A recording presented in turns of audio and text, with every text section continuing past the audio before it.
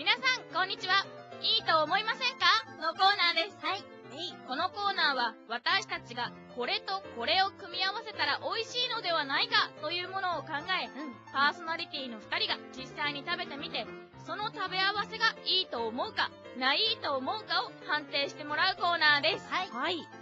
ちなみに、いいと思いませんか？のいいとは、英語で、E, A, T と書いて、食べるという意味のいいとです。はい。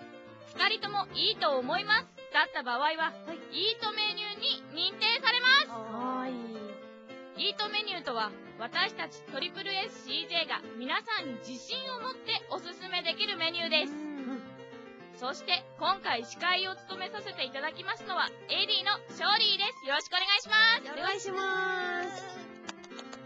さて、第4回目の食べ合わせは、なんちゃって和風デザートです。デザートですか？デザートです。デザートなのに和風？はい。なんかタイトル的には美味しそうな感じですね。そうだね全然危ないところないし。うん。まず、1人分の材料を紹介します。はい。絹豆腐4分の1丁、豆豆腐？そうきたか黒蜜小さじ3、はい。きな粉小さじ2、抹茶アイス大さじ2です。はい。きな粉とちょっと、なかなかいいけど、どうでしょう？豆腐っていうのがね。豆腐、豆腐だけちょっと気になるんですが。では早速作っていきます。はい。作り方は至って簡単。まず、水を軽く切った絹豆腐4分の1丁を食べやすい大きさに崩します。はい。入りましたね。4分の崩してください1をぐちゃぐちゃってしちゃうんですか？ぐちゃぐちゃっとスプーンで。潰しております。はい。はい。おー。一口よりちょっとちっちゃくなりましたね。結構細かくね、ぐちゃぐちゃにするんですね。どうでしょう？今の段階では。醤油かけて食べたいです。そうですね。醤油が欲しいです。あと、醤油鰹節残念ですね。今回はちょっと使わないんですよ。あ抹茶、抹茶と黒蜜ときな粉。ーはい。どうなんですか次ね。に、黒蜜小さじ3。入ります。上からかけまーす。お、とろーっと。あいい結構入りますね。もう、このとろり加減は私好きです。うん、でもかかってるのは豆腐の豆上ということですけど。次、うんきな粉小さじ2。はい。きなこ。きな粉、お、きなこ。きな粉。私きなこ大好きです。私も好きです。好きですか？大好きですじゃ。あぜひ、はい。さささっとさっと。。はいはい。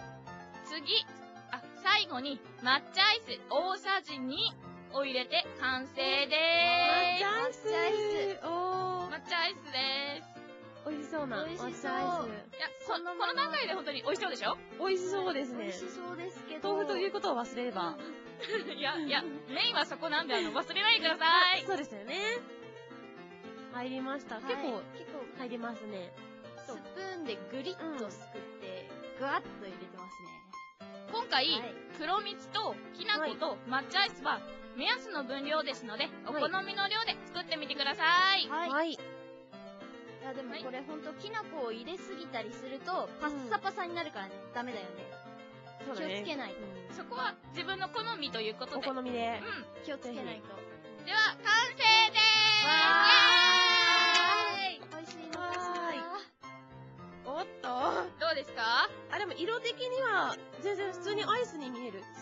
バニラアイスに見える。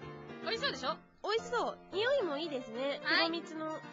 それでは、パーソナリティの二人に食べていただきましょうどうぞ全部一緒にいた方があいいですよ、ね。三つ全部、はい。混ぜて食べてください。いただいただきます。どうぞどうぞ。どうですか？どうですか？うん。舌触りとかどうですか？どうですか？豆腐ふわふわしてて。アイスはなんか、美味しいし、バランスもいい感じです。そうですね。ん。やりました。ちょうどいい。黒蜜がいい味出してくるね。結構、う結構いけてしまうかもしれない。ん。本当にデザートとしては全然、うんうん。ほんと黒蜜が効いてていいです黒ね。蜜いいね。美味しい。さて、お二人とも判定は決まりましたか？はい、決まりました。じゃあ、それでは、改めて、判定お願いしますどうぞ。いいと思います。いいと思います。やりました。どちらもいいと思います。出ました。なんと連続じゃないです。か4回連続です。すごいですね。素晴らしいですね。すごいすごい。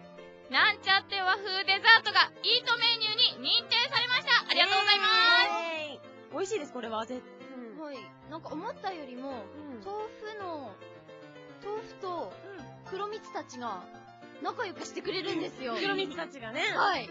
仲良くしてくれてるよね。なかなかフレンドリーでいいですよ。豆腐のあのふわふわ感も、いなんか新鮮じゃなかった？そうですね。うんあの食、食感っていうか、すべてを集めた、うんあの味は初めて食べました。豆腐だけどほんとデザートとしてはい、すごいいいと思い合ます。ってますでしょ？うん合ってるでしょ？いいですね。合ってますですよ今回のなんちゃって和風デザートの作り方はブログにアップしますので皆さんもぜひ作ってみてください。作ってみてください。以上、いいと思いませんか？のコーナー